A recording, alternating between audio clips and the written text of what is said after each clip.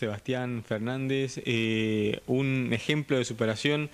Vos, Sebastián, sufriste un accidente en 2011 que eh, te causó la imposibilidad de poder caminar, pero sin embargo eso no causó que vos dejes la competencia de alto rendimiento, tanto en maratones, triatones. Bueno, contanos un poco primero eh, cómo fue ese accidente, cómo lo viviste en ese momento y la recuperación que tuviste que llevar. ¿Cómo están?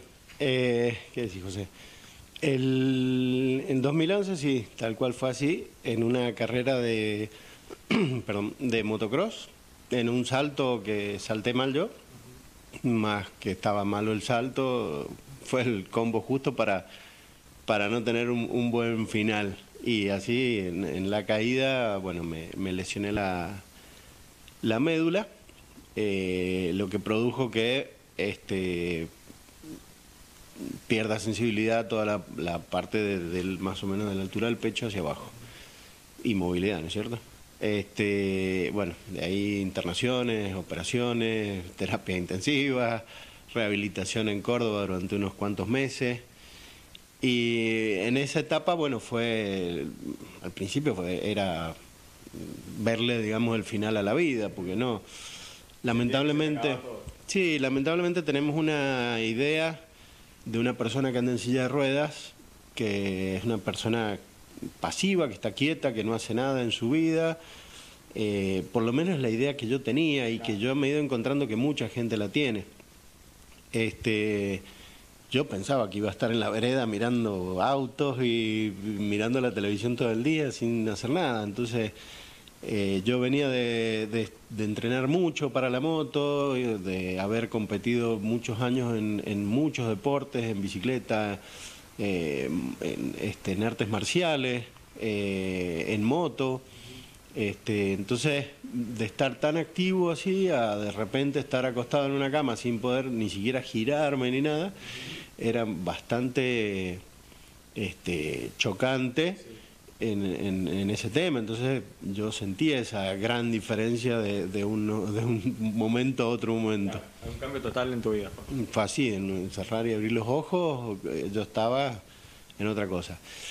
Eh, y una de las, de las cosas por las cuales yo empiezo a hacer deporte, si bien eh, mi cabeza es, yo me he criado haciendo deporte, entonces iba a hacer deporte en algún momento, pero uno de los grandes motivos fue justamente eso, mostrar que, que, no que no es una persona que va a estar en, silla de rueda, que va a estar quieta, que, sino que una persona activa, normal, común y corriente, que, este, que hace las mismas cosas. Yo de hecho empecé haciendo a jugar al tenis, que yo jugaba al tenis de chico, eh, y había vuelto a jugar al tenis unos meses antes de, de, accidentarme.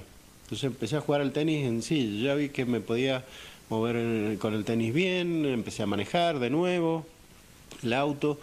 Este, y ahí empecé a andar en cuatriciclo, donde empecé a andar bien y surgió el tema de, un proyecto de, correr el Dakar, donde yo dije, lo voy a encarar hasta donde pueda, si puedo correrlo bien, si no, bueno, mala suerte. Logré conseguir permisos, logré conseguir plata, todo, hasta que, bueno, al final la organización no me dejó correr.